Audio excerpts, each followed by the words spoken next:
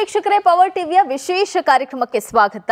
ನಾನು ನೀನಶ್ರೀ ಇತ್ತೀಚಿನ ದಿನಗಳಲ್ಲಿ ಕನ್ನಡ ಚಿತ್ರಗಳನ್ನ ನಾವೆಲ್ಲರೂ ಕೂಡ ಗಮನಿಸ್ತಾ ಇದ್ರೆ, ಒಂದೊಳ್ಳೆ ಕತೆ ಹಾಗೆ ವಿಭಿನ್ನ ಟೈಟಲ್ ಮೂಲಕ ಕನ್ನಡ ಕಲಾಭಿಮಾನಿಗಳ ಮನಸ್ಸನ್ನ ಸೆಳಿತಾ ಇದೆ. ಅಂಥದ್ದೇ ಒಂದು ಚಿತ್ರ ಈಗ ರಿಲೀಸ್ಗೆ ರೆಡಿ ಆಗಿದೆ. ನೋಡದ ಪುಟಗಳು ಅನ್ನುವಂಥ ಒಂದು ವಿಭಿನ್ನವಾದಂಥ ಶೀರ್ಷಿಕೆಯನ್ನ ಇಟ್ಕೊಂಡು ಈ ಚಿತ್ರ ಈಗ ತೆರೆಗೆ ಅಪ್ಪಳಿಸುವುದಕ್ಕೆ ರೆಡಿ ಆಗಿದೆ ಈಗಾಗಲೇ ಚಿತ್ರದ ಲಿರಿಕಲ್ ಸಾಂಗ್ಸ್ ಹಾಗೆ ಬಿಡುಗಡೆ ಆಗಿರುವಂತಹ ಟ್ರೇಲರ್ ಸ್ಯಾಂಪಲ್ಸ್ನಿಂದ ಗಮನ ಸೆಳೀತಾ ಇದೆ. ಸಾಕಷ್ಟು ಕ್ಯೂರಿಯಾಸಿಟಿ ಕೂಡ ಮೂಡಿಸಿದೆ.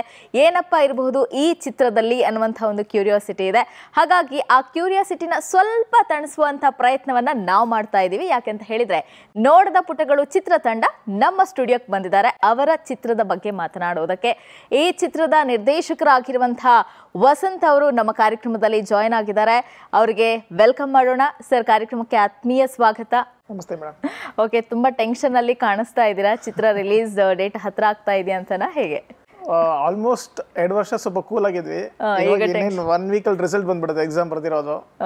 ಸ್ವಲ್ಪ ಟೆನ್ಷನ್ ಎಸ್ ಹಾಗೆ ಈ ಚಿತ್ರದ ನಾಯಕ ನಟಿ ಆಗಿರುವಂತಹ ಕಾವ್ಯ ರಮೇಶ್ ಅವರು ಕೂಡ ನಮ್ಮ ಕಾರ್ಯಕ್ರಮಕ್ಕೆ ಜಾಯ್ನ್ ಆಗಿದ್ದಾರೆ. ಕಾವ್ಯ ಅವರೇ ಕಾರ್ಯಕ್ರಮಕ್ಕೆ ಆತ್ಮೀಯ ಸ್ವಾಗತ. ನಮಸ್ತೆ.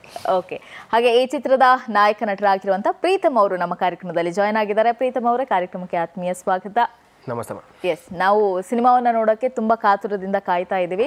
ಸಾಕಷ್ಟು ವಿಶೇಷತೆಗಳಿಂದ ಕೂಡಿರುವಂತಹ ಸಿನಿಮಾವನ್ನ ನಮ್ಮ ಕನ್ನಡ ಪ್ರೇಕ್ಷಕರಿಗೆ ಕಟ್ಟಿಕೊಡುವಂತ ಪ್ರಯತ್ನವನ್ನ ಮಾಡಿದಿರಿ ಮಾಡ್ತಾ ಇದ್ದೀರಿ. ಒಂದು ವಿಶೇಷ ಅಂತ ಹೇಳಿದ್ರೆ ನೀವು ಸಿನಿಮಾ ಬ್ಯಾಕ್ಗ್ರೌಂಡ್ ಅವರು ಅಲ್ಲ. ಸೊ ಐ ಟಿಯಿಂದ ಸಿನಿಮಾವನ್ನ ಮಾಡೋದಕ್ಕೆ ಬಂದಿದ್ದೀರಿ. ಹಾಗಾಗಿ ಸಾಕಷ್ಟು ಅಡ್ವಾಂಟೇಜನ್ನು ಅಥವಾ ಸಾಕಷ್ಟು ಕಷ್ಟ ಪಟ್ಟಿರಬಹುದು ಹಾಗೆ ಸಾಕಷ್ಟು ನಿರೀಕ್ಷೆಗಳನ್ನ ಇಟ್ಕೊಂಡು ಸಿನಿಮಾ ಕ್ಷೇತ್ರಕ್ಕೆ ಬಂದಿದ್ದೀರಿ. ಮೊದಲ ಪ್ರಶ್ನೆ ಐ ಟಿಯನ್ನ ಬಿಟ್ಟು ಯಾಕೆ ಸಿನಿಮಾ ಆಯ್ಕೆ ಮಾಡ್ಕೊಂಡ್ರಿ? ಅದು ವೃತ್ತಿ ಪ್ರವೃತ್ತಿ ಎರಡನ್ನ ಯಾವ ರೀತಿ ಮೇಂಟೈನ್ ಮಾಡ್ತಾ ಇದ್ದೀರಾ? ಏನಕ್ಕಂದ್ರೆ ಒಂದು ಫಿಲಮ್ ಇಟ್ಟಾಗಿ ಕಲೆಕ್ಷನ್ ಆಗೋ ತನಕ ನಮ್ಮ ಫ್ಯೂಚರ್ ಏನಂತ ಗೊತ್ತಿಲ್ಲ. ಗೊತ್ತಿಲ್ಲ. ಎಸ್ಪೆಷಲಿ ನಾವು ಮಿಡಲ್ ಕ್ಲಾಸ್ ಫ್ಯಾಮಿಲಿ ಅಂದಮೇಲೆ ನಮ್ದೇ ಅದೇ ಒಂದು ಕಮಿಟ್ಮೆಂಟ್ ಇರುತ್ತೆ. ಏನಕ್ಕಾದ್ರೆ ಸ್ಟೇಜ್ ಬೈ ಸ್ಟೇಜ್ ಒಂದು ಎಕ್ಸ್ಪೆಕ್ಟೇಷನ್ ಇಟ್ಟಿರ್ತಾರೆ. ಓಕೆ ಓದಾಯ್ತಾ? ನೆಕ್ಸ್ಟ್ ಇದನ್ನ ಮಾಡ್ಕೋ ಅದನ್ನ ಮಾಡ್ಕೋ ಒಂದ್ ಮನೆ ಮಾಡ್ಕೋ ಮಕ್ಳು ಮಾಡ್ಕೋ ಅಂತ. ಲಾಸ್ಟ್ ತನಕ ಇದೇನೆ. ಏನಾದ್ರು ಮಾಡೋಣ ಡಿಫ್ರೆಂಟ್ ಆಗಿ ಅಂತ ಹೇಳಿದ್ರೆ ಫ್ಯಾಮಿಲಿ ಸಿಚುವೇಶನ್ ಸಪೋರ್ಟ್ ಮಾಡಲ್ಲ. ಸೊ ಜೊತೆಗೆ ನಾನು ಒಂದು ಎರಡು ವರ್ಷ ಅಸಿಸ್ಟೆಂಟ್ ಆಗಿ ವರ್ಕ್ ಮಾಡಿದೀನಿ. ಆವಾಗಲೇ ಸ್ವಲ್ಪ ಅರ್ಥ ಮಾಡ್ಕೊಂಡೆ. ಹೇಗಿದೆ? ಡೈರೆಕ್ಷನ್ ಡಿಪಾರ್ಟ್ಮೆಂಟ್ ಹೇಗಿದೆ? ಅವ್ರಿಗೆ ಬಡೋ ಸಂಬಳ ಏನು? ಅವರು ಸಂತೋಷವಾಗಿದ್ದಾರ? ಅವ್ರ ಫ್ಯಾಮಿಲಿ ಏನ್ ನೀಡ್ಸ್ ಒಂದಿದಲ್ಲ ಸಿಕ್ತಿದ್ಯಾ ಅಂತ ನೋಡಿದಾಗ ಸೊ ಗೊತ್ತಾಯ್ತು ರಿಯಾಲಿಟಿ ಏನು ಗೊತ್ತಾಯ್ತು. ಸೊ ಇದನ್ನ ಹೋಗ್ಬಿಟ್ಟು ನಮ್ಮ ಮನೇಲಿ ನಾನು ಮನೆ ಮೈ- ನಮ್ಮ ಮನೇಲಿ ಆ ಥರ ಪರಿಸ್ಥಿತಿ ಕೊಡೋಕೆ ಇಷ್ಟ ಇರಲಿಲ್ಲ. ಓಕೆ ಸರ್ ನಾನು ನನ್ನ ಟೈಮ್ ತೊಗೊಳ್ಳೋಣ ಮೇನ್ ಏನೋ ಫಿಲಮ್ ಒಂದು ಹಿಟ್ ಆಗಬೇಕಾದ್ರೆ ಕಂಟೆಂಟ್ ಸೊ ಆ ಕಂಟೆಂಟ್ ಅಂತೂ ಬರಿತಾ ಇದೆ ಪ್ಯಾಲಲ್ ಆಗಿ. ಸೊ ಒಂದು ಒಳ್ಳೆ ಟೈಮ್ ಬಂದಾಗ ಒಂದು ಶಾರ್ಟ್ ಫಿಲಮ್ ಮಾಡಿ ಶಾರ್ಟ್ ಫಿಲಮ್ ಮಾಡಿದ್ಮೇಲೆ ಸ್ವಲ್ಪ ಧೈರ್ಯ ಬಂದು ಒಂದು ಕ್ರೌಡ್ ಫಂಡಿಂಗ್ ಅಂತ ಶುರು ಆಗಿದ್ದು ಲಾಸ್ಟ್ ಅಲ್ಲಿ ಆಮೇಲೆ ಕ್ವಾಲಿಟಿಗೋಸ್ಕರ ನಾನೇ ಫಂಡ್ ಮಾಡಿ ಫ್ಯಾಮಿಲಿ ಜೊತೆ ಸಪೋರ್ಟ್ ತಗೊಂಡು ಫಿಲಮ್ ಮಾಡಿದ್ದು. ಎಸ್ ಈ ಸಿನಿಮಾಗೋಸ್ಕರ ಎರಡು ವರ್ಷ ಕೂಡ ತಗೊಂಡಿದ್ರಿ. ಅಂದ್ರೆ ಎರಡು ವರ್ಷದ ಹಿಂದೆನೆ ಸೆಟ್ಟೇ ಇರಿತ್ತು. ಸೊ ಆ ಎರಡು ವರ್ಷ ಕೂಡ ನಿಮ್ಗೆ ಸಾಕಷ್ಟು ಪ್ಲಸ್ ಆಗಿರ್ಬೋದು ಅಂತ ಅನ್ಕೋತೀನಿ. ಒಂದೇನು ಅಂದ್ರೆ ಕರೋನಾ ಅನ್ನೋದು ಒಂದು ದೊಡ್ಡ ಪ್ರಾಬ್ಲಮ್ ಇತ್ತು ನಮಗೆ. ಏನಕರೆ ಈ ಫಿಲಮ್ ಅಲ್ಲಿ ಚಿಕ್ಕ ಮಕ್ಕಳು ಆಕ್ಟ್ ಮಾಡಬೇಕಾಗಿತ್ತು. ಸೊ ಕರೋನಾ ಟೈಮಲ್ಲಿ ಅವ್ರು ಕರೆಯೋದು ಒಂದು ದೊಡ್ಡ ಚಾಲೆಂಜ್ ಏನಕರೆ ಇವಾಗ ಯಾರೇ ಬಂದ್ಬಿಟ್ಟು ನನ್ನ ಮಗನ ಶೂಟಿಂಗ್ ಕರೆದ್ರೆ ನಾನು ಕಳ್ಸಲ್ಲ. ಕರೋನಾ ಟೈಮಲ್ಲಿ ಏನಪ್ಪ ಶೂಟಿಂಗ್ ಹೋಗಿ ಕೆಲಸ ನೋಡು ಅಂತ ಹೇಳ್ತೀನಿ. ಸೊ ಅದೊಂದು ರೀತಿಯಿಂದ ನಾನು ಸ್ವಲ್ಪ ವೇವ್ಸ್ ಸೆಕೆಂಡ್ ಸ್ವಲ್ಪ ತಣ್ಣಗಾಗ್ಲಿ ಅಂತ ಹೇಳಿ ಸ್ವಲ್ಪ ಟೈಮ್ ತಗೊಂಡಿದೆ ಅದು ಬಿಟ್ರೆ ಆಕ್ಚುಲ್ ಶೂಟಿಂಗ್ ಅಂದ್ರೆ ಫಾರ್ಟಿ ಫೈವ್ ಡೇಸ್ ಶೂಟಿಂಗ್ ಆಗಿದೆ. ಓಕೆ ಅದು ಬಿಟ್ರೆ ಇನ್ನ ಪೋಸ್ಟ್ ಪ್ರೊಡಕ್ಷನ್ ಸ್ವಲ್ಪ ವಿ ಎಫ್ ಎಕ್ಸ್ ಎಲ್ಲ ಜಾಸ್ತಿ ಇದೆ ಫಿಲಮ್ ಅಲ್ಲಿ. ಸಿನಿಮಾದಲ್ಲಿ ಕಾವ್ಯ ಅವರು ತುಂಬಾ ಚೆನ್ನಾಗಿ ಕಾಣಿಸ್ತಾ ಇದ್ದೀರಿ. ಈಗಾಗಲೇ ಸ್ಯಾಂಪಲ್ಸ್ನ ನಾನು ನೋಡಿದೀನಿ ತುಂಬಾ ಕ್ಯೂಟ್ ಆಗಿ ಕಾಣಿಸ್ತಾ ಇದ್ದೀರಾ? ಎರಡನೇ ಸಿನಿಮಾ ಕೂಡ ಇದು. ಸಾಕಷ್ಟು ನಿರೀಕ್ಷೆಗಳು ಇದ್ದೇ ಇರುತ್ತೆ. ಒಂದು ಸಿನಿಮಾದಿಂದ ಇನ್ನೊಂದು ಸಿನಿಮಾಗೆ ಹೋಗ್ಬೇಕಾದ್ರೆ. ಇನ್ನೊಂದು ಕೇಳ್ಪಟ್ಟೆ ಡೈರೆಕ್ಟ್ರು ನಿಮಗೆ ಕತೆನೇ ಹೇಳಿಲ್ಲ ಕ್ಲೈಮ್ಯಾಕ್ಸ್ ಕೂಡ ನಿಮ್ಗೆ ಗೊತ್ತಿಲ್ಲ ಹೀರೋ ಹೀರೋಯಿನ್ಗೆ ಅಂತ ಹೇಳಿದ್ರು. ಸೊ ಪ್ರತಿಯೊಬ್ಬರಿಗೂ ಕೂಡ ಒಂದು ಕತೆ ಕೇಳಿದ ಮೇಲೆ ಒಪ್ಕೋತಾರೆ ಸಿನಿಮಾನ. ಸೊ ನೀವು ಹೇ ಯಾಕೆ ಒಪ್ಕೊಂಡ್ರಿ ಅಂತ? ನಾನು ಮೊದ್ ಮೊದಲನೇದಾಗಿ ಸರ್ ಕೇಳಿದ್ದೆ ಸ್ಟೋರಿ ಏನು ಅಂತ. ಓಕೆ ಸರ್ ಆಲ್ರೆಡಿ ಪ್ರಿಪೇರ್ ಆಗಿದ್ದಾರೆ. ಹೀರೋ ಹೀರೋಯಿನ್ಗೆ ಸ್ಟೋರಿ ಹೇಳಲೇಬಾರ್ದು ಬಾರ್ದು ಅಂತ. ಬಟ್ ನನಗೆ ಅದು ಗೊತ್ತಿಲ್ಲ ನಾನು ಸರ್ ನನಗೆ ಕಾಲ್ ಮಾಡಿದ್ರು. ಅವಾಗ ತಾನೇ ಕರೋನಾ ಅದೆಲ್ಲ ಮುಗ್ದಿತ್ತು ಅಂಡ್ ನಾನು ಸೀರಿಯಲ್ ಅವಾಗ ತಾನೇ ವೈಂಡ್ ಅಪ್ ಆಗಿತ್ತು. ನಾನು ಊರ್ಗ್ ಹೋಗಿದ್ದೆ ನಮ್ಮ ಊರ್ಗೆ. ಅವಾಗ ಕಾಲ್ ಬಂದಿದ್ ನನಗೆ. ನೀವು ಇಮಿಡಿಯೇಟ್ ಹೊರಡ್ಬೇಕಾಗತ್ತೆ ಅಂತ ಹೇಳಿದ್ರು. ನನ್ಗೆ ಇಮಿಡಿಯೇಟ್ ಹೊರಡ್ಬೇಕು ಅಂತಂದ್ರೆ ನಂಗೆ ಸ್ಟೋರಿ ಕೇಳ್ಬೇಕಾಗಿತ್ತು. ಕೇಳಬೇಕಾಗಿತ್ತು ಸರ್ ನಂಗೆ ಸ್ಟೋರಿ ಹೇಳಿ ಸರ್ ನಾನು ಹೊರಡ್ತೀನಿ ಅಂತ ಹೇಳ್ದೆ. ಸರ್ ಆಗ್ಲೇ ಪ್ರಿಪೇರ್ ಆಗಿದ್ದಾರೆ. ಮೇಡಮ್ ನೀವು ಬನ್ನಿ ನಾನು ಹೇಳ್ತೀನಿ ಅಂತ ಹೇಳಿದ್ರು. ಸರ್ ಒಂದ್ ಲೈನ್ ಆದ್ರೂ ಹೇಳಿ ಸರ್ ಅಟ್ಲೀಸ್ಟ್ ಅದನ್ನಾದ್ರೂ ಕೇಳ್ಕೊಂಡ್ ಬರೋಣ. ನನಗೆ ನೋಡದ ಪುಟಗಳು ಅಂತ ಟೈಟಲ್ ಕೇಳಿದ ತಕ್ಷಣನೇ ಸ್ಟೋರಿ ಕೇಳಬೇಕು ಅಂತ ಅನ್ಸಿತ್ತು. ನೋಡದ ಪುಟಗಳು ಅದು ಟೈಟಲ್ ಒಂಥರ ಕ್ಯಾಚ್ ಆಗಿದೆ. ಇನ್ ಸ್ಟೋರಿ ಅದ್ರ ಹಿಂದೆ ಏನಿರ್ಬೋದು ಅಂತ ನನ್ಗೊಂದು ಕುತೂಹಲ ಇತ್ತು. ಸೊ ಕೇಳಿದೆ ಸರ್ಗೆ. Sir ten percent just ten percent ಮೂವಿಗೆ related hero ಒಂದು ಸ್ಟೋರಿ ಲೈನ್ನ ಹೇಳಿದ್ರು. ನನ್ಗೆ ಅದೇ ಇಂಟ್ರೆಸ್ಟಿಂಗ್ ಅಂತ ಅನ್ನಿಸ್ತು. ಓಕೆ ಇದೇ ಇಂಟ್ರೆಸ್ಟಿಂಗ್ ಆಗಿದೆ ಇನ್ ಫುಲ್ ಸ್ಟೋರಿ ಇನ್ನೂ ಚೆನ್ನಾಗಿರ್ಬೋದು ಹೋಗ್ಬಿಟ್ಟು ನಾನು ಕೇಳೋಣ ಅಂತ ಅಂದ್ಬಿಟ್ಟು ದಾವಣಗೆರೆಯಿಂದ ನಾನು ಹೊರಟಿದ್ದು ಬ್ಯಾಂಗ್ಳೂರಿಗೆ ಹೊರಟು ಡೈರೆಕ್ಟ್ ಲಗೇಜ್ ಸಮೇತ ಸರ್ ಆಫೀಸಿಗೆ ಹೋಗ್ಬಿಟ್ಟು ಆಡಿಷನ್ ಕೊಟ್ಟಿದ್ದು. ಫ್ರೆಶ್ ಅಪ್ ಆಗೋಕ್ಕೂ ಬಿಡಲಿಲ್ಲ. ಕೊಟ್ಟೆ ಅವಾಗ ಸ್ಕ್ರಿಪ್ಟ್ ಬುಕ್ ಎಲ್ಲ ಕೊಟ್ಟಿದ್ರು. ಅದ್ರಲ್ಲಿ ನಮ್ದು ಏನಿದೆಯೋ ಅದಷ್ಟೇ ಪೋರ್ಷನ್ ಇತ್ತು. ಬೇರೆ ಏನು ಜಾಸ್ತಿ ಇರಲಿಲ್ಲ. ಅಂಡ್ ಮೇನ್ ಆಗಿ ಕ್ಲೈಮ್ಯಾಕ್ಸ್ ಇದ್ರಲ್ಲಿ ಇರಲಿಲ್ಲ. ಓಕೆ ನಿಮ್ದು ಕತೆ ಹೇಗಿದೆ ಅಂತ? ಇವನ್ ನಾನು ಅಷ್ಟೇ ಮನೇಲೇ ಇದ್ದೆ ಆ ಟೈಮಲ್ಲಿ ಕೊರೋನಾ ಇವನ್. ಸಡನ್ ಆಗಿ ನಂಗೊಂದು ಕಾಲ್ ಬಂತು. ನಮ್ಮ ಆ್ಯಕ್ಚುಲಿ ಕುಮಾರ್ ಸರ್ ಅಂತ. ಅವ್ರು ನನಗೆ ಶಾರ್ಟ್ ಮೂವಿಲಿ ಪರಿಚಯ ಆದರು. ನಾನು ಅವರು ಒಂದು ಶಾರ್ಟ್ ಮೂವಿ ಮಾಡಿದ್ವಿ ಹಾಗೆ ಪರಿಚಯ ಆಯಿತು. ನನ್ನ ಫ್ರೆಂಡ್ ಒಬ್ಬರು ಈ ಥರ ಮೂವಿ ಮಾಡ್ತಾ ಇದ್ದಾರೆ ಒಂದು ಒಳ್ಳೆ ಸ್ಟೋರಿ ಓರಿಯೆಂಟೆಡ್ ಅಂದರೆ ಕಂಟೆಂಟ್ ಓರಿಯೆಂಟೆಡ್ ಚೆನ್ನಾಗಿದೆ ನೀನು ಮಾಡು ಅಂತ ಹೇಳಿದ್ರು. ಆಡಿಷನ್ ಇಟ್ಟಿದ್ದಾರೆ ಅಂತ. ಓಕೆ ಸರ್ ಆಡಿಷನ್ ಅನ್ನೋಕ್ಕೂ ನನ್ನ ತಲೆಯಲ್ಲಿ ಒಂದು ಫಿಕ್ಸ್ ಆದೆ. ಬ್ಯಾಂಗ್ಳೂರಿಗೆ ನಾನು ಇರೋದು ಹೊರನಾಡು. ಸೊ ಆಡಿಷನ್ ಅಂದ್ರೆ ಬ್ಯಾಂಗ್ಳೂರಿಗೆ ಬರಬೇಕು. ಪ್ರತಿ ಸಲ ಆಡಿಷನಿಗೆ ಬರ್ತೀವಿ. ಆಮೇಲೆ ಯೂಶ್ವಲಿ ಅವ್ರದ್ದಿರುತ್ತೆ ಏನು ಅಂದ್ರೆ ಕಾಲ್ ಮಾಡ್ತೀವಿ ಹೋಗಿರಪ್ಪ ಅಂತ. ಸೇಮ್ ಇವರು ಅದೇ ಡೈಲಾಗ್ ಹೇಳಿದ್ರು. ಕಾಲ್ ಮಾಡ್ತೀನಿ ನೋಡೋಣ ಅಂತ. ಸೊ ನಾನು ಒಂದ್ ಒಂಥರ ಫಿಫ್ಟಿ ಫಿಫ್ಟಿಲಿದ್ದೆ ಬಟ್ ಏನೋ ಒಂದು ಕಾಲ್ ಬರ್ಬೋದು ಅಂತ ಅನ್ಕೊಂಡಿದ್ದೆ. ಬಟ್ ಕಾಲ್ ಏನೋ ಬಂತು ಓಕೆ ಸಡನ್ ಆಗಿ ನಾಳೆ ಏನೋ ಅಂದ್ರೆ ಮುಹೂರ್ತ ಇದೆ ಬಂದ್ಬಿಡು ಅಂತ. ಆ, ಒಂದು ಮೂಮೆಂಟಲ್ಲಿ ಕೆಲವೊಂದು ಕಡೆಯಿಂದ ಏನೋ ಅಂದ್ರೆ ನೆಗೆಟಿವ್ ಎಲ್ಲಿ ಏನಾರು ಇನ್ವೆಸ್ಟ್ಮೆಂಟ್ ಮಾಡಬೇಕು ಆ ಥರ ಅದು ಬೇರೆ ತಲೆಯಲ್ಲಿ ಸೊ ಪಾಪ ಸರ್ ಅದನ್ನೆಲ್ಲ ಡೈರೆಕ್ಟ್ ಆ ಥರ ಏನೂ ಇಲ್ಲ. ನಾನು ಅದರಲ್ಲೂ ಸರ್ ಅಡ್ವಾನ್ಸ್ ಹಾಕಿ ಆಮೇಲೆ ಬರ್ತೀನಿ ಅಂತ ಹೇಳಿದೆ.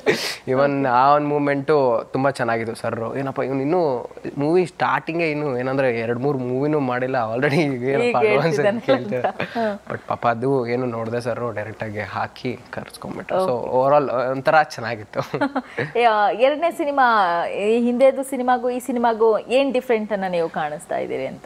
Ma'am first movie even release ಆಗಿ ತುಂಬ ಕಡೆ ಆ್ಯಕ್ಚುಲಿ ನನಗೊಂದು ಇದು ಸಿಕ್ಕಿಲ್ಲ. ಏನು ಅಂದರೆ ರೆಕಗ್ನೈಸ್ ಇಲ್ಲೋ ಈ ಥರ ಬಂದಿದೆ ಅಂತ ಒಂದು ಮೂವಿ ಬಟ್ ಈ ಮೂವಿ ಏನು ಡಿಫ್ರೆನ್ಸ್ ಇದೆ ಅಂದರೆ ಫಸ್ಟ್ ಮೂವಿಲಿ ನಾನು ಒಂಥರ ನೆಗೆಟಿವ್ ಮತ್ತು ಪಾಸಿಟಿವ್ ಎರಡು ಕ್ಯಾರೆಕ್ಟರ್ ಒಂಥರ ಗ್ರೇ ಶೇಡಲ್ಲಿ ಹೋಗುತ್ತೆ. ಅದು ಬೇರೆ ಆ ಮೂವಿ ಬಂದು ಒಂಥರ ಥ್ರೈಲರ್ ಕ್ರೈಮ್ ಮತ್ತು ಮಿಕ್ಸ್ಡ್ ಆಗಿ ಅದು ಒಂಥರ ಜಾನರು ಈ ಜಾನರ್ಗೆ ಹೋದರೆ ಇದೊಂಥರ ಕಾಮಿಡಿ ಲವ್ ಒಂಥರ ಒಳ್ಳೆ ಸೋಷಿಯಲ್ ಮೆಸೇಜ್ ಬೇರೆ ಇದೆ. ಟೋಟಲ್ ಆಗಿ ಕ್ಯಾರೆಕ್ಟರ್ ಮೇಲೆ ಹೋದ್ರೆ ತುಂಬ ಫುಲ್ ಡಿಫ್ರೆಂಟ್ ಇದೆ. ನಾನೊಬ್ಬ ಇದರಲ್ಲಿ ಐ ಟಿ ಬ್ಯಾಕ್ ಗ್ರೌಂಡ್ ಅಲ್ಲಿ ವರ್ಕ್ ಮಾಡೋಂಥ ಒಂದು ಮಿಡಲ್ ಕ್ಲಾಸ್ ಫ್ಯಾಮಿಲಿಲಿ ಇರ್ತೀನಿ. ಅಂಡ್ ನನ್ನ ಕ್ಯಾರೆಕ್ಟರ್ ಒಂಥರ ತರಲೆ ಇಂಟ್ರೋವರ್ಟ್ ಒಂಥರ ಮಿಕ್ಸ್ಡ್ ಆಗಿದೆ. ಇವನ್ ಸರ್ ಯಾವಾಗಲೂ ಹೇಳೋರು ನೀನೆ ಹೇಗಿದ್ರು ತರಲೆ ಕ್ಯಾರೆಕ್ಟರ್ ಅದೇ ತರ ಲೀಡ್ ಆಗುತ್ತೆ.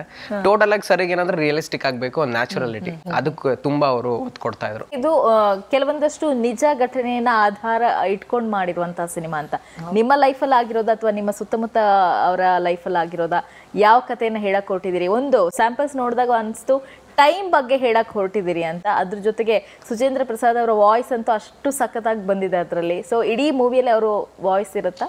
ಇಲ್ಲ ಆಕ್ಚುಲಿ ಸುಚೇಂದ್ರ ಪ್ರಸಾದ್ ಸರ್ದು ಆಕ್ಟಿಂಗ್ ಕೋರ್ಸ್ ಅಟೆಂಡ್ ಮಾಡಿದೆ. ನಾನು ಹೇಳ್ತಿರೋದು ಹತ್ತು ವರ್ಷ ಹಿಂದೆ. ನಾನು ಒಬ್ಬ ಆಕ್ಟರ್ ಆಗ್ಬೇಕು ಅಂತಲ್ಲ ಡೈರೆಕ್ಟ್ರಿಗೆ ಸ್ವಲ್ಪ ಆಕ್ಟಿಂಗ್ ಗೊತ್ತಿರ್ಬೇಕು ಸೊ ಅದರಿಂದ ಅವಾಗ ಅವ್ರ ಕೋರ್ಸ್ ಹೋಗಿದ್ದೆ. ಇತ್ತೀಚೆಗೆ ಇವಾಗ ಟ್ರೈಲರ್ ರೆಡಿ ಆಗಿದೆ ಒಂದು ಪವರ್ಫುಲ್ ವಾಯ್ಸ್ ಬೇಕಾಗಿತ್ತು. ಸೊ ಫಸ್ಟ್ ಅವ್ರ ಹೆಸರು ಬಂತು. ಬಟ್ ಹೇಗೆ ಅಪ್ರೋಚ್ ಮಾಡೋದು? ಇಷ್ಟು ವರ್ಷ ಆದ್ಮೇಲೆ ಇದ್ದಕ್ಕಿದ್ದಂಗೆ ಫೋನ್ ಮಾಡೋರು ಏನಂತಾರೋ ನಾಪ್ಕ ಇಟ್ಕೊಂಡಿರ್ತಾರ ಇಲ್ವಾ ಅಂತ. ಸೊ ಅದಕ್ಕೆ ರಘು ಅನ್ನೋರನ್ನ ಅಪ್ರೋಚ್ ಮಾಡಿದ್ದೆ. ರಘು ಬಂದ್ಬಿಟ್ಟು ಈ ಫಿಲಮಲ್ಲಿ ಆಕ್ಟಿವ್ ಮಾಡಿದ್ದಾರೆ. ಜೊತೆಗೆ ನಾನು ಆಕ್ಟಿಂಗ್ ಕೋರ್ಸ್ ಮಾಡ್ಬೇಕಾದ್ರೆ ನನ್ನ ಬ್ಯಾಚ್ ಮೇಟ್ ಅವರು ನಾನು ಹೇಳಿದೆ ಈ ತರ ಟ್ರೈಲರ್ಗೆ ಅವ್ರು ಕೊಟ್ಟರೆ ಚೆನ್ನಾಗಿರತ್ತಲ್ವಾ ಅಂತ. ಸರಿ ಬಾ ಆಯ್ತು ಮನೆ ಕರ್ಕೊಂಡು ಹೋಗ್ತೀನಿ ಅಂತ ಕರ್ಕೊಂಡೋದ. ಕರ್ಕೊಂಡು ಹೋಗಿದ ತಕ್ಷಣ ನಾನು ಕಂಡಿಡಿತಾರ ಇಲ್ವೊಂದು ಒಂದು ಡೌಟ್ ಇತ್ತು. ನಾನು ಫಸ್ಟ್ ಹೊಡಿದ ತಕ್ಷಣ ಏನು ತಲೆ ಮೇಲೆ ಕೂದಲ್ಲ ಎಲ್ಲ ಉದ್ರೋಗ್ಬಿಟ್ಟಿದೆ. ಅಷ್ಟು ಮಟ್ಟಿಗೆ ನಾಪ್ಕ ಇಟ್ಕೊಂಡಿದ್ದೀರಾ? ಅಂತ ಹೇಳ್ಬಿಟ್ಟು ಏನು ವಿಷಯ ಅಂದ್ರೆ ಸಹಿತ ಒಂದು ಫಿಲಮ್ ಮಾಡಿದ್ದೀನಿ. ಫಿಲಮ್ ಮಾಡಿದ್ಯಾ? ವೆರಿ ಗುಡ್ ವೆರಿ ಗುಡ್ ಅಂತ. ಮತ್ತೆ ಹೇಗೆ ಏನ್ ಕತೆ ಫಿಲಮ್ ಹೆಸರೇನು? ಸರ್ ನೋಡೋದ ಪುಟಗಳು ಅಂತ. ಅವ್ರು ಒಂಥರ ಒಂದು ಸ್ಕೂಲ್ ಫ್ರೆಂಡ್ ಮೀಟ್ ಮಾಡ್ದಂಗೆ ರೇಕ್ಸಕ್ ಶುರು ಮಾಡ್ಬಿಟ್ರು ಓಕೆ ಏನೋ ಅದು ನೋಡೋದ ಪುಟಗಳು? ಫಿಲಮ್ ಚೆನ್ನಾಗಿಲ್ಲ ಅಂದ್ರೆ ನೋಡಬಾರ್ದ ಪುಟಗಳು ಇಟ್ಬಿಟ್ರು. ಏನೋ ಮಾಡ್ತೀಯಾ? ನಾನು ಏನಿದು ಸ್ಟಾರ್ಟಿಂಗ್ ಓಪನಿಂಗ್ ಸೀನೇ ಈ ತರ ಇದೆಯಲ್ಲ ಅಂತ ಬಟ್ ತುಂಬಾ ಚೆನ್ನಾಗಿ ಮಾತಾಡ ಎರಡೂವರೆ ಅವ್ರು ಮಾತಾಡಿದ್ರೆ ಟೈಮ್ ಹೋಗಿದ್ದೆ ಗೊತ್ತಾಗಿಲ್ಲ. ನಾನು ಹೇಳಿದೆ ಸರ್ ಈ ತರ ನಿಮ್ ವಾಯ್ಸ್ ಕೊಟ್ಟರೆ ಚೆನ್ನಾಗಿರತ್ತೆ ಅಂತ. ಆಯ್ತು ಬಿಡ ಮಾಡೋಣ ಅಂತ ಸೊ ಆಮೇಲೆ ಅವ್ರ ವಾಯ್ಸ್ ಬಂದಾದ್ಮೇಲೆ ಟ್ರೈಲರ್ದು ಒಂದು ಇದೇ ರೇಂಜೇ ಬೇರೆ ಕಡೆ ಹೋಗುತ್ತೆ ಅದೊಂದು ಖುಷಿ. ಸೊ ಇದು ಆಕ್ಚುಲಿ ನ್ಯೂಸ್ ಪೇಪರ್ ಬರುವಂತ ವಿಷಯ. ವರ್ಷ ವರ್ಷ ಬರುವಂತ ವಿಷಯ. ಒಂದ್ಸತಿ ಬಂದು ಹೋದ್ರೆ ನಾನು ಅಷ್ಟು ತಲೆಗೆ ನಿಲ್ತಾ ಇರಲಿಲ್ಲ. ವರ್ಷ ವರ್ಷ ಇದು ಬರೋದು. ಅವಾಗ ಅವಾಗ ಅಫೆಕ್ಟ್ ಆಗ್ತಿದೆ ನಾನು. ಇದನ್ನ ನೋಡಿದಾಗ ಸೊ ನಮ್ಮ ಗುರುಗಳು ಶ್ರೀರಾಮ್ ಅಂತ ಅವ್ರ ಅಸೋಸಿಯೇಟ್ ಆಗಿದ್ರು. ಅವ್ರ ಹತ್ರ ಅವಾಗ ಅವಾಗ ಇದ್ರ ಬಗ್ಗೆ ಹೇಳ್ತಿದೆ ಸರ್ ಇದು ವರ್ಷ ವರ್ಷ ಬರ್ತೀವಿ ಅಂತ ಹೇಳಿದ್ರೆ ಇದ್ರ ಬಗ್ಗೆ ಫಿಲಮ್ ಮಾಡಿದ್ರೆ ಚೆನ್ನಾಗಿರತ್ತಲ್ವ ಸರ್ ಅಂತ. ಹ್ಞೂ ಚೆನ್ನಾಗಿರತ್ತೆ ಕಣೋ ಬಟ್ ನೋಡು ಹೇಗೆ ಬಿಲ್ಡ್ ಮಾಡ್ತೀಯಾ ಅಂತ ಕೇಳೋರು. ಸೊ ನಾನೇನು ಮಾಡ್ತಿದ್ದೆ ಪ್ಯಾಲಲ್ ಆಗಿ ಒಂದು ಐದು ಸ್ಟೋರಿ ಬರೀತಿದ್ದೆ ನಾನು. ಏನಕ್ಕೆ ಇವಾಗ ಹೇಗಿದ್ರು ನನಗಿರೋದು ಐ ಟಿ ಕಂಪ್ನಿ ಒಂದೇ. ಸೊ ಬೆಳಗ್ಗೆ ನಮ್ಮ ಮನೆ ಬಿಟ್ರೆ ಎಲೆಕ್ಟ್ರಾನಿಕ್ ಸಿಟಿ ಹೋಗೋದಕ್ಕೆ ಒಂದು ಬೆಳಗ್ಗೆ ಎರಡು ಅವರ್ ಬಸ್ಸು ಸಾಯಂಕಾಲ ಎರಡು ಅವರ್ ಬಸ್ಸು ಅದನ್ನ ಚೆನ್ನಾಗಿ ಯೂಸ್ ಮಾಡ್ಕೊಳ್ಳೋಣ ಅಂತ ಯಾವಾಗಲೂ ನನ್ನ ಕೈಯಲ್ಲಿ ಒಂದು ಬುಕ್ ಇರೋದು ಬುಕ್ಕಲ್ಲಿ ಬರ್ಕೊಂಡು ಹೋಗ್ತಿದ್ದೆ ಬರ್ಕೊಂಡು ಬರ್ತಿದ್ದೆ ಸೊ ಇವಾಗ ಒಂದೇ ಸ್ಟೋರಿ ಏನಕ್ಕೆ ಬರಿಬೇಕು ಅಂತ ಒಂದು ಐದು ಪ್ಯಾಲರ್ ಆಗಿ ಬರೀತಿದ್ದೆ. ಅದು ಇದನ್ಗೆ ಒಂದು ಫೇವ್ರೇಟ್ ಆಗಿತ್ತು. ಏನಕ್ಕೆ ವರ್ಷ ವರ್ಷ ಇದ್ ನೋಡಿದಾಗೆಲ್ಲ ಒಂಥರ ಕಾಡೋದು. ಏನಿದು ಅಂತ. ಸೊ ಫೈನಲ್ ಆಗಿ ಅದ್- ಅದ್ರ ಬಗ್ಗೆನೇ ಫಿಲಮ್ ಮಾಡಿದೆ. ಸೊ ಆ ಕತೆ ಏನು ಏನ್ ಸ್ಟೋರಿ ಅಂತ ನಾವು ಬಿಗ್ ಸ್ಕ್ರೀನ್ ಅಲ್ಲೇ ನೋಡ್ಬೇಕು. ಖಂಡಿತ. ಇಲ್ಲಾಂದ್ರೆ ಇವಾಗ ಇವ್ರು ಬರಸ್ತಾರೆ. ಎರಡು ವರ್ಷ ನಮಗೆ ಹೇಳಿಲ್ಲ. ಇವ್ರಿಗೆ ಹೆಂಗ್ ಹೇಳೋದು ಒಂದು ಶೋ ಬಿಟ್ಬಿಟ್ಟು ಹೇಳ್ಬಿಟ್ರಲ್ಲ ಅಂತ ನಮಗ್ ಬೈತಾರೆ. ಸಿನಿಮಾದ ಟ್ರೇಲರ್ ಅನ್ನ ಅಶ್ವಿನಿ ಪುನೀತ್ ರಾಜ್ಕುಮಾರ್ ಅವರು ಕೂಡ ನೋಡಿದ್ದಾರೆ. ಅವರು ಕೂಡ ನೋಡ್ತಾ ಇದ್ದಂಗೆ ಫುಲ್ ಕ್ಯೂರಿಯಸ್ ಆಗಿದ್ದಾರೆ ಅವರು. ಏನು ಹೇಳಿದ್ರು ಅವ್ರದ್ದು ಅಪ್ರೋಚ್ ಹೇಗಿತ್ತು ಏನ್ ವಿಶ್ ಮಾಡಿದ್ರು ಅವರು ಅಂತ? ಅಲ್ಲ ಫಸ್ಟ್ ಆಫ್ ಆಲ್ ಈ ತರ ಆಗುತ್ತೆ ಅಂತ ಗೊತ್ತಿರಲಿಲ್ಲ. ಏನಕ್ಕೆ ನಾಳೆ ಮ್ಯಾಮ್ ಆಕ್ಚುಲಿ ಯು ಎಸ್ ಹೋಗ್ಬೇಕಾಗಿತ್ತು. ಓಕೆ ಸೊ ಅದು ಪ್ರೀವಿಯಸ್ ಡೇ ನಮ್ಮ ನಮ್ಮ ಟ್ರೈಲರ್ ಸಪೋರ್ಟ್ ಮಾಡಿದ್ದಾರೆ. ಅದು ಪ್ರೀವಿಯಸ್ ಡೇನೆ ಫೋನ್ ಮಾಡಿದ್ ನಾವು. ಓಕೆ ಸೊ ನಾನು ಫಿಲಮ್ ಸ್ಟಾರ್ಟ್ ಮಾಡ್ಬೇಕಾದ್ರೆ ಯಾರ್ದು ಯಾರ್ದು ಪರಿಚಯ ಇಲ್ಲ ಫಿಲಮ್ ಇಂಡಸ್ಟ್ರಿಯಲ್ಲಿ ಏನಕ್ಕೆ ಆಲ್ಮೋಸ್ಟ್ ಎಂಟು ಹತ್ತು ವರ್ಷ ನಾನು ಇಂಡಸ್ಟ್ರಿ ಇಂಡಸ್ಟ್ರಿಯಲ್ಲಿ ಇರಲಿಲ್ಲ. ಇರ್ಲಿಲ್ಲ ಹೌದು. ಸೊ ಆಗಿದ್ರು ಕೂಡ ಏನೋ ಒಂದು ಮಾಡೋದು ಮಾಡ್ತಾ ಇದೀವಿ ನಮ್ ಕೈಲಿ ಆಗಿದಷ್ಟು ಮಾಡೋಣ ಅಂತ ಹೇಳಿ ಒಂದು ಟೀಮ್ ಸೆಟ್ ಮಾಡೋದಾಗಿರ್ಲಿ ಟೆಕ್ನಿಷಿಯನ್ ಸೆಟ್ ಮಾಡೋದಾಗಿರ್ಲಿ ಹಂಗಂಗೆ ಹುಡುಕಿ ಹುಡುಕಿ ಬಂದ್ವಿ. ಆಗಿದ್ರು ಕೂಡ ನಾನು ಇವಾಗ ಆಡಿಯೋ ಕಂಪ್ನಿಗೆ ಅಪ್ರೋಚ್ ಮಾಡ್ತಾ ಇದ್ದೇನೆ. ಫಸ್ಟ್ ಕೆಲವರು ಹೀರೋ ಯಾರು ಹೀರೋ ಹೀರೋ ಯಾರು? ಸರ್ ಈ ತರ ಒಂದೊಂದು ಫಿಲಮ್ ಮಾಡಿದ್ದಾರೆ. ಅಂದ್ರೆ ಅವ್ರು ಅವ್ರು ಮಾತಾಡೋ ರೀತಿನೇ ಬೇರೆ ತರ ಆಗ್ಬಿಡತ್ತೆ. ಆ, ಸರಿ ಇದೇ ತರ ಆಯ್ತು ಡಿಸ್ಟ್ರಿಬ್ಯೂಷನ್ ಹೋದೆ. ಡಿಸ್ಟ್ರಿಬ್ಯೂಷನ್ ಅದೇ ತರ. ಇಲ್ಲ ಹೊಸಬ್ರು ಫಿಲಮ್ ನಾವೇನೋ ಸಪೋರ್ಟ್ ಮಾಡಲ್ಲ. ನಿಮ್ಗೆ ಎಷ್ಟು ಥಿಯೇಟರ್ ಬೇಕೋ ಆ ತರ. ಸೊ ಒಂಥರ ಎಲ್ಲ ಚಾಲೆಂಜಸ್ ಅಲ್ಲೇ ಮಾಡಿದ್ರು ಈ ಫಿಲಮ್ ಏನಕ್ಕೆ ಪಾಸಿಟಿವ್ ಹೇಳೋದಕ್ಕಿಂತ ನೆಗೆಟಿವ್ ಕೇಳಿರೋದು ಜಾಸ್ತಿ. ಹೊಸಬ್ರು ಅಂತ ಹೇಳಿದ ತಕ್ಷಣ. ನಮ್ಮ ಫಿಲಮ್ ಅಲ್ಲಿ ವಿಕ್ಟ್ರಿ ವಾಸು ಸರ್ ಆಕ್ಟ್ ಮಾಡಿದ್ದಾರೆ. ಓಕೆ ಸೊ ಅವರು ತುಂಬಾ ಕಡೆ ಹೆಲ್ಪ್ ಮಾಡಿದ್ದಾರೆ. ಈ ತರ ಯಾವುದೋ ಒಂದು ಸೆಲೆಬ್ರಿಟೀಸ್ ಇವೆಂಟ್ ಇದ್ರೆ ಅವಾಗ ನಮ್ಮ ಪೋಸ್ಟ್ ತಗೊಂಡೋಗಿ ಇಡು ಬೈಟ್ಸ್ ತಗೋ ಅಂತೆಲ್ಲ ಹೇಳೋರು. ಆ ಥರ ಸುಮಾರು ಜನ ಬೈಟ್ಸ್ ತಗೊಂಡಿದೀವಿ. ಇವಾಗ ಟ್ರೈಲರ್ಗೆ ಅವ್ರಿಗೆ ಫೋನ್ ಮಾಡಿದೆ ಸರ್ ಇನ್ನೂ ಒಂದು ಹೆಲ್ಪ್ ಏನೋ? ಸರ್ ಈ ಥರ ಟ್ರೈಲರ್ ಅಶ್ವಿನಿ ಮೇಡಮ್ ಅಂತ ಮಾಡಿದ್ರೆ ಒಂಥರ ಇದಿರುತ್ತಲ್ವ ಸರ್?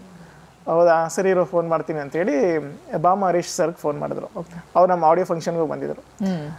ಅಲ್ಲ ಆ್ಯಕ್ಚುಲಿ ಫೋನ್ ಮಾಡ್ಬಿಟ್ಟು ನಾನು ಬಾ ಅಂತ ಕರ್ಕೊಂಡು ಹೋಗ್ತೀನಿ ಕರ್ಕೊಂಡು ಹೋದ್ರು. ಕರ್ಕೊಂಡು ಹೋಗಿದ ತಕ್ಷಣ ಏನು ವಿಷಯ ಅಂದರೆ ಸರ್ ಈ ಥರ ಪುನೀತ್ ಪುನೀತ್ ಅಶ್ವಿನಿ ಮೇಡಮ್ ಹತ್ರ ರೆಡಿ ನೋಡಿ ಚೆನ್ನಾಗಿರುತ್ತೆ ಅಂತ. ಸರಿ ಅಂತ ನನ್ನ ಮುಂದೆನೇ ಅವ್ರ ಅಸಿಸ್ಟೆಂಟಿಗೆ ಫೋನ್ ಮಾಡಿದ್ರು. ಫೋನ್ ಮಾಡಿಬಿಟ್ಟು ಸರಿ ನೆಕ್ಸ್ಟ್ ಡೇ ಬೆಳಗ್ಗೆ ಫೋನ್ ಮಾಡಿ ಯಾಕಂದ್ರೆ ಅವ್ರು ಯು ಎಸ್ ಹೋಗ್ತಿದ್ದಾರೆ ಅವ್ರು ಯು ಎಸ್ ಹೋಗ್ತೀರ ಅಂತ ಹೇಳಿದ ತಕ್ಷಣ ಅಲ್ಲೇ ನನ್ಗೆ ಹೋಯ್ತು ಕಾನ್ಫಿಡೆನ್ಸ್ ನಾನು ಸಿಗಲ್ಲ ಬಿಸಿ ಟೈಮಲ್ಲಿ ಹೆಂಗ್ ಸಿಗ್ತಾರೆ ಅಂತ. ನೋಡಿದ್ರೆ ನೆಕ್ಸ್ಟ್ ಡೇ ಬೆಳಗ್ಗೆ ನಾನು ಗಾಡಿಯಲ್ಲಿ ಹೋಗ್ತಾ ಇದ್ದೀನಿ ವಿಕ್ಟ್ರಿ ಹೊಸ ಸರ್ ಐದು ಸತಿ ಫೋನ್ ಮಾಡಿದ್ದಾರೆ. ನಾನು ಏನಿದು ಐದು ಸತಿ ಫೋನ್ ಮಾಡಿದ್ದಾರೆ ಅಂತ ಫೋನ್ ಫೋನ್ ಮಾಡಿದಾಗ ಹೇಳಿದ್ರು ತಕ್ಷಣ ಇವಾಗಲೇ ಪೋಸ್ಟ್ ಕಳಿಸಿ ಒಂದು ಐದು ಪೋಸ್ಟ್ ಬೇಕು ನನಗೆ ಅಂತ. ಸರಿ ಅಂತ ಕಳಿಸಿದೆ. ಆಮೇಲೆ ಹಾಫ್ ಅನ್ ಅವರಲ್ಲಿ ಅಲ್ಲಿ ಗುಡ್ ನ್ಯೂಸ್ ಕಣೋ. ಅಶ್ವಿನಿ ಮೇಡಮ್ ಸಿಗ್ತಾರಂತೆ. ನನ್ಗೆ ಇನ್ನೂ ನಂಬಕ್ ಆಗ್ತಿಲ್ಲ. ಸರಿ ಬರೀ ಐದ್ ಜನಕ್ಕೆ ಮಾತ್ರ ಹೇಳಿದೀನಿ ವಿಷಯ. ಹೀರೋ ಹೀರೋಯಿನ್ಗೆ ಮತ್ತೆ ಕ್ಯಾಮ್ರಾದವ್ನು ಬೇಕಲ್ಲ ಅವ್ರಿಗೆ ಮಾತ್ರ ಹೇಳಿದ್ದೀನಿ ಬಟ್ ಆಗಿರೋ ಇದನ್ನಾನು ಯಾರು ಹೇಳಕ್ ಹೋಗ್ಬೇಡಿ ಆಗ್ಲಿ ವಿಷಯ ಅಂತ. ಆಮೇಲೆ ಸರಿ ಎಲ್ಲ ಹೋಗಿ ನಿಂತ್ಕೊಂಡಿದೀವಿ ಅದ್ ಮೂರು ಗಂಟೆ ಮೂರು ಗಂಟೆ ಟೈಮ್ ಕೊಟ್ಟಿದ್ದು ಮೂರು ಗಂಟೆ ತನಕ ನನಗೆ ತಡೆಯಕ್ಕಾಗ್ತಿಲ್ಲ ಮ್ಯಾಮ್ನ ಮೀಟ್ ಮಾಡ್ತಾ ಇದ್ದೀನಿ. ಸರಿ ಮೂರು ಗಂಟೆ ಒಳಗಡೆ ನಿಂತ್ಕೊಂಡು. ಮೂರು ಕಾಲಕ್ಕೆ ಗಾಡಿಗೆ ಬಂತು. ಅವಾಗ ನೋಡಿದ ತಕ್ಷಣ ಅವಾಗ ಮೈ ಜಮ್ ಅಂತ ನಮಗೆ ಆಮೇಲೆ ಒಳಗಡೆ ಕೂತ್ಕೊಂಡು ಮ್ಯಾಮ್ ಎಷ್ಟು ಚೆನ್ನಾಗಿ ಮಾತಾಡಿದ್ರು ಅಂದ್ರೆ ಅಲ್ಲಿ ಬಂದಿರೋರು ಅಷ್ಟು ಜನ ಹತ್ರ ಕ್ಲೀನ್ ಆಗಿ ಡೀಟೇಲ್ ಆಗಿ ಮಾತಾಡಿದ್ದಾರೆ. ನಿಮ್ದು ಯಾವ ಊರು ಏನ್ ಮಾಡ್ಕೊಂಡಿದ್ದೀರಾ? ಫಿಲಮ್ ಬಿಟ್ಟು ಬೇರೆ ಏನಾದ್ರು ಮಾಡ್ತಿದ್ದೀರಾ? ಫಿಲಮ್ ಫೀಲ್ಡ್ ತುಂಬಾ ಕಷ್ಟ. ಅಷ್ಟು ಒಂದು ಜೊತೆಗೆ ಅವ್ರಿಗೊಂದು ಕೇರ್ ನೋಡಿ ಫಿಲಮ್ ಇಂಡಸ್ಟ್ರಿ ತುಂಬಾ ಕಷ್ಟ. ಸ್ವಲ್ಪ ನೋಡ್ಕೊಂಡ್ ಮಾಡಿ. ಏನಕ್ಕೆ ಇದೆಲ್ಲ ಮಾತಾಡ್ಬೇಕು ಅಂತ ಏನಿಲ್ಲ ಸುಮ್ಮನೆ ರಿಲೀಸ್ ಮಾಡಿ ಬಿಡ್ಬೋದಾಗಿತ್ತು ಆಗಿದ್ರೆ ಅವ್ರಿಗೊಂದು ಕಾಳಜಿ. ಅದ್ರಲ್ಲಿ ನಮ್ ಹೀರೋ ಸೈಕಲ್ ಗ್ಯಾಪ್ ಅಲ್ಲಿ ಸಿಕ್ಸ್ ಹೊಡೆದ್ಬಿಟ್ಟ. ಮ್ಯಾಮ್ ಹತ್ರ ಹೋಗ್ಬಿಟ್ಟು ಮ್ಯಾಮ್ ಕೇಳ್ತಿದ್ದಾರೆ ಸ್ವಲ್ಪ ನೋಡ್ಕೊಂಡ್ ಮಾಡಪ್ಪ ಏನು ನಿಮ್ದು ಫ್ಯೂಚರ್ ಆಂಬಿಷನ್ ಏನು ಅಂದ್ರೆ ಮ್ಯಾಮ್ ನನಗೆ ಪಿ ಆರ್ ಪಿ ಆರ್ ಕೆಲವೊಂದು ಪ್ರಾಜೆಕ್ಟ್ ಮಾಡಬೇಕು ಅಂತ ಹೇಳ್ಕೊಂಡ್ ಬಂದ್ಬಿಟ್ಟ. ನಾನು ಅಂದ್ರೆ ನಾನ್- ಪಿಚ್ ಮಾಡಿಲ್ಲ ಅದನ್ನ ಏನ್ ಪಿಚ್ ಮಾಡ್ಕೊಂಡ್ ಬಂದ್ಬಿಟ್ನಲ್ಲ ಗ್ಯಾಪ್ ಅಲ್ಲಿ ಅಂತ. ಎಕ್ಸ್ಪೀರಿಯನ್ಸ್ ಮಾತ್ರ ತುಂಬಾ ಚೆನ್ನಾಗಿತ್ತು ನಿಮ್ಗೆ ಈ ಸಿನಿಮಾದಲ್ಲಿ ತುಂಬಾ ಇವಾಗ್ಲೂ ಕಾಡುವಂತ ಪಾತ್ರಗಳು ಅಥವಾ ಸನ್ನಿವೇಶಗಳ ಬಗ್ಗೆ ಶೇರ್ ಮಾಡೋದಾದ್ರೆ. ಚೆನ್ನಾಗಿತ್ತು ಶೂಟಿಂಗ್ ನನ್ಗೆ ಎಲ್ಲ ಮೂಮೆಂಟು ಒಂಥರ ಖುಷಿ ಮೆಮೊರೇಬಲ್ ಅಂತಾನೆ ಹೇಳ್ಬೋದು. ಯಾಕಂದ್ರೆ ಅವಾಗ ತಾನೇ ಕರೋನಾ ಅದು ಇದು ಅಂತ ತಲೆಬಿಸಿ ತಲೆ ಬಿಸಿ ಸ್ವಲ್ಪ ಕಡಿಮೆ ಆಗಿತ್ತು. ಅದಾದ್ಮೇಲೆ ಇವಾಗ ಇನ್ನು ಒಂದೇನೋ ಒಂದ್ ಹೊರಗಡೆ ಶೂಟಿಂಗ್ ಬರ್ತಾ ಇದೀವಿ ವರ್ಕ್ ಮಾಡ್ತಾ ಇದೀವಿ ಅಂದ್ರೆ ಅದು ಒಂಥರ ಖುಷಿನೇ ಆಯ್ತು ಒಂಥರ ಫ್ರೀಡಮ್ ಅಂತಾನೆ ಹೇಳ್ಬೋದು. ನೀವ್ ಹೇಳಿದ್ರೆ ಈ ಹಿಂದೆ ಮಾಡಿದ ಸಿನಿಮಾದಲ್ಲಿ ಕೆಲವೊಂದಷ್ಟು ಪಾರ್ಟ್ಗಳನ್ನ ಮಾಡಿದೆ ಅಂದ್ರೆ ಮಿಕ್ಸ್ಡ್. ಸೊ ಇದರಲ್ಲಿ ನಿಮ್ಗೆ ಯಾವ ರೀತಿ ಆಕ್ಷನ್ ಇದೆಯಾ? ಆಕ್ಷನ್ ಕೂಡ ಆಕ್ಷನ್ ಆಕ್ಚುಲಿ ಅವ್ರ ಬಗ್ಗೆ ಒಂದ್ ಹೇಳ್ತೀನಿ. ಒಂದ್ ಹೇಳಲೇಬೇಕು. ಅವ್ರ ಆಕ್ಷನ್ ಅವ್ರ ಏನ್ ಗೊತ್ತಾ? ಇಡ್ಲಿ ಜೊತೆ ಓರಿಯೋ ಬಿಸ್ಕೆಟ್ ತಿಂತಾರೆ. ಓ ಮೈ ಗಾಡ್. ಇಡ್ಲಿ ಜೊತೆ ಓರಿಯೋ ಬಿಸ್ಕೆಟ್ ಅಂದ್ರೆ ಅಷ್ಟು ಖಾರ ಇರಬಾರ್ದು ಅವ್ರಿಗೆ. ಖಾರ ಇರಬಾರ್ದು ಸ್ಪೈಸಿ ಸ್ವಲ್ಪ ಸ್ವೀಟ್ ಅಲ್ವಾ? ಅದಕ್ಕೆ ಜಾಸ್ತಿ ಸ್ವೀಟ್ ತಿಂತೀವಿ. ಶೂಟಿಂಗ್ ಟೈಮಲ್ಲಿ ಏನೋ ಇಡ್ಲಿ ಜೊತೆ ಓರಿಯೋ ಬಿಸ್ಕೆಟ್ ತಿಂತಿದಾರ ಆಯ್ತಾ? ಚಟ್ನಿ ಖಾರ ಇದೆ ಅಂತ. ನನಗೆ ಕೇಳ್ತಿದ್ದಾರೆ ತಿಂತೀರಾ ಅಂತ ಖಾರ ಇದೆ ಚಟ್ನಿ ಅಂತ. ಅಲ್ಲ ಇಡ್ಲಿ ಹಾಲು ಅಥವಾ ಕಾಫಿ ಜೊತೆ ಕುಡಿಯೋದು ಹೌದು ತಿನ್ನೋದು. ಮೊಸರನ್ನ ತಿನ್ನೋ ಜೊತೆ ನಾನು ಆಕ್ಷನ್ ಕೊಡಕ್ಕಾಗತ್ತೆ ಏನ್ ಆಕ್ಷನ್ ಕೊಡಕ್ಕಾಗತ್ತೆ? ಸೊ ಹಾಗಾಗಿ ಆಕ್ಷನ್ ಕೊಟ್ಟಿಲ್ಲ ನಿಮ್ಗೆ. ಸೊ ಅದಕ್ಕೆ ಸರ್ ಅವಾಗ್ಲೇ ಪ್ಲಾನ್ ಹಾಕ್ತಿದ್ರು. ಓಕೆ ಇದನ್ನೆಲ್ಲ ನೋಡು ಆಕ್ಷನ್ ಕೊಟ್ರು ಕಾಮಿಡಿ ಸೀನ್ ಆಗ್ಬಿಡುತ್ತೆ. ಅದಕ್ಕೋಸ್ಕರ ಬೇಡಪ್ಪ. ನೀನ್ ಇರೋದೇನಿದೆ ಅಷ್ಟ್ ಮಾತ್ರ ಮಾಡು. ನೋ ಆಕ್ಷನ್ ಏನ್ಗೆ ಅಂತ. ಆಕ್ಚುಲಿ ಸರ್ ಪಾರ್ಟ್ ಟೂ ಅಲ್ಲಿ ಪ್ಲಾನ್ ಮಾಡ್ತಿದ್ರೆ. ಸೊ ನನಗೆ ಟೈಮ್ ಅಂತ ಕೊಡ್ತಾ ಇದ್ದಾರೆ. ಹೌದೌದು ಪಾರ್ಟ್ ಟೂ ಬೇರೆ ಬರ್ತಾ ಇದೆ ಸಂತೋಷ ಅದ್ರಲ್ಲೇ ಇರ್ಲಿ. ಸಂತೋಷ ಅದನ್ನ ಡ್ರೀಮ್ ಮಾಡ್ಕೊಂಡು ಇರ್ಲಿ. ನಿಮ್ಮ ಲೈಫ್ನ ರಿವೈಂಡ್ ಮಾಡಿದ್ರೆ ಈ ಸಿನಿಮಾಗೆ ರಿಲೇಟೆಡ್ ಆಗಿ ಅಥವಾ ಸಿನಿಮಾದಲ್ಲಿ ಆಕ್ಟ್ ಮಾಡಿದಾಗ ನಿಮಗೆ ಆ, ಹಂಗೆ ಅನ್ಸಿದ್ಯಾ ಲೈಫ್ಗೆ ಕನೆಕ್ಟ್ ಆಗಿದ್ದು ಸೀನ್ಗಳು? ತುಂಬಾ ಸಿಚುವೇಶನ್ ಆಗಿದೆ. ಯಾಕಂದ್ರೆ ಫಸ್ಟ್ ಸ್ಕೂಲ್ ಲೈಫ್ ತಗೊಂಡ್ರು ಅಷ್ಟೇ. ಕೆಲವೊಂದಷ್ಟು ಈ ಈ ಮೂವಿಯಲ್ಲಿ ಕೆಲವೊಂದೆಲ್ಲ ನೆನಪಾಗುತ್ತೆ. ಆ ಒಂದು ಸೀನ್ಗಳೆಲ್ಲ ಒಂದ್ಸತಿ ಟ್ರೈಲರ್ ಅಲ್ಲಿ ನೋಡಿದ್ರು ಅನ್ಸುತ್ತೆ. ಓಕೆ ನನ್ನ ಲೈಫಲ್ಲೂ ಇದೇ ತರ ಇತ್ತು ಅಂತ. ಇನ್ನೊಂದು ಮೈನ್ ಇನ್ನೊಂದು ಥಿಂಗ್ ಇದೆ. ಅದನ್ನೆಲ್ಲ ಹೇಳಕ್ ಹೋದ್ರೆ ಈಗ ಇವರು ಇದ್ರ ಬಗ್ಗೆ ಡಿಸ್ಕಸ್ ಅವಾಗಿಂದ ಮಾಡಿದ್ವಿ. ನಾ ಅದಕ್ಕೆ ಓಕೆ ಇನ್ನೇನು ಈಗ ಲೇಡೀಸ್ ಫಸ್ಟ್ ಅಲ್ಲ. ಅವ್ರು ಹೇಳ್ಬಿಟ್ಟೆ ಆಮೇಲೆ ನಾನು ಹೇಳ್ತೀನಿ. ಅಕಸ್ಮಾತ್ ಏನಾದ್ರೂ ನೋಡದ ಪುಟ್ ನಿಮ್ ಲೈಫ್ ಅಲ್ಲಿ ನೋಡದ ಪುಟಗಳು ಏನು ಅಂತ ಕೇಳಿದ್ರೆ ಏನ್ ಹೇಳೋಣ ಅಂತ ನಾನು ಒಂದು ಡಿಸ್ಕಸ್ ಮಾಡ್ತಾ ಇದ್ದೆ. ಇವ್ರ ಹತ್ರ ಅವಾಗ ಅವರು ಅದನ್ನೇ ಸೇಮ್ ಹೇಳಿದ್ರು. ಸೊ ಅದನ್ನ ಹೇಳ್ತೀನಿ ನನ್ನ ನನ್ ಲೈಫ್ ಅಲ್ಲಿ ನೋಡದ ಪುಟಗಳು ಏನಂತ ಅಂದ್ರೆ ನಾನ್ ಚಿಕ್ಕ ಪಾಪು ಇರ್ಬೇಕಾದ್ರೆ ನಮ್ಮಮ್ಮ ಜಸ್ಟ್ ಊಟ ಮಾಡಿಸಿ ಅವಾಗ ತಾನೇ ಅಂಬೆಗಾಲ್ ಇಡ್ತಾ ಇದ್ದೆ. ಊಟ ಮಾಡಿಸ್ಬಿಟ್ಟು ನನ್ನ ಹಾಗೆ ಬಿಟ್ಟಿದ್ದಾರೆ ಆಟ ಆಡ್ಕೊಳ್ಳಿ ಅಂತ. ಇನ್ನು ಅಂಬೆಗಾಲ್ ಅವಾಗ ಇಡ್ತಾ ಇದ್ದು. ನಾನು ಹಂಗೆ ಅಂಬೆಗಾಲ್ ಇಡ್ತಾ ಇಡ್ತಾ ಇಡ್ತಾ ಹೋಗ್ಬಿಟ್ಟು ಅಲ್ಲಿ ಏನ್ ಮಾಡಿದೀನಿ ಆ, ನೀರಿಂದು ಇದಿರುತ್ತೆ. ಆ, ಬಾವಿ ಅದು ನಮ್ ಸೈಡ್ ಎಲ್ಲ ನೀರಿನ ಗುಂಡಿ ಅಂತ ಹೇಳ್ತಾರೆ. ಅದು. ಅದ್ರ ಫುಲ್ ಆಳ ಇರುತ್ತೆ. ಫುಲ್ ನೀರ್ ತುಂಬಿದೆ. ಹೋಗ್ಬಿಟ್ಟು ಬಿದ್ಬಿಟ್ಟಿದೀನಿ. ಚಿಕ್ಕ ಪಾಪು ಇನ್ನು. ಯಾರು ಅಂದ್ರೆ ಯಾರು ಇಲ್ಲ ಮಧ್ಯಾಹ್ನದ ಹೊತ್ತು ಫುಲ್ ಖಾಲಿ ಇದೆ ಯಾರು ಅಮ್ಮ ಅಮ್ಮ ಫುಲ್ ಒಳಗಡೆ ಏನೋ ಬ್ಯುಸಿ ಇದ್ದಾರೆ ಏನೋ ಊಟ ಮಾಡಿಸಿ ಏನೋ ಇದು ಮಾಡ್ತಿದ್ದೆ ನಾನು ಅಷ್ಟರಲ್ಲಿ ಅಂಬೆಗಾಲ್ ಇಡ್ತಾ ಇಡ್ತಾ ಹೋಗ್ಬಿಟ್ಟು ಬಿಟ್ಬಿಟ್ಟಿದ್ದೀನಿ ಏನಂತಂದ್ರೆ ಏನಂತ ಅಂದ್ರೆ ಆ, ಆ ಟೈಮಲ್ಲೇ ಸಡನ್ ಆಗಿ ಒಬ್ಬ ಒಬ್ಬ ವ್ಯಕ್ತಿ ನಮ್ಮ ಮನೆ ಹತ್ರ ಬಂಡಿ ಹೊಡ್ಕೊಂಡು ಎತ್ತಿನ ಬಂಡಿ ಅದನ್ನ ಹೊಡ್ಕೊಂಡು ನಿಂತ್ಕೊಂಡು ಓಡಿಸ್ಕೊಂಡು ಹೋಗ್ತಾ ಇದ್ದಾರೆ ಸೊ ನಮ್ ಕಾಂಪೌಂಡ್ ಆಚೆ ಹಿಂಗೆ ಸುಮ್ನೆ ಅವ್ರು ಏನಕ್ಕೆ ನೋಡಿ ಅವ್ರು ನೋಡಿಲ್ಲ ಅಂತಂದ್ರೆ ನಾ ಇರ್ತಾನೆ ಇರ್ಲಿಲ್ಲ ಇವಾಗ. ಅವ್ರು ಜಸ್ಟ್ ನೋಡಿರೋದು. ಪಿಂಕ್ ಕಲರ್ ಏನೋ ಒಂದ್ ಕಮ್- ಕಮಲದ ಹೂ ತರ ತೇಲ್ತಾ ಇದೆ ಅಲ್ಲ ಅಂತ ಏನದು ಏನು ಅಂತ ನೋಡಿದಾರೆ ಏನೋ ಒಂಥರ ಕಂಡಿದೆ. ಬಟ್ ಆಮೇಲೆ ಸಡನ್ ಆಗಿ ಇಳಿದ್ ಬಂದು ನೋಡಿದಾಗ ನಾನು ತೇಲ್ತಾನೆ ಇದ್ನಂತೆ. ಅದು ಮೇಲ್ಗಡೆ ಫುಲ್ ಮುಳುಗಿಲ್ಲ.